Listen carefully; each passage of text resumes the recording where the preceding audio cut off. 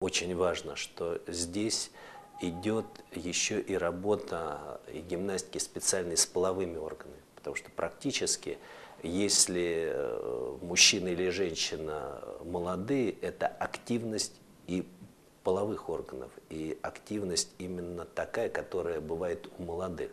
Потому что, да, существуют системы там, э, уничтожить флору, там, сделать э, типа Виагры какие-то препараты, еще что-то. Но это настолько искусственно, настолько вымучено, настолько не доставляет радости и счастья и здоровья, а можно это сделать по-настоящему. Есть специальные гимнастики, которые дают возможность, чтобы эти органы работали так же, как работали в юности.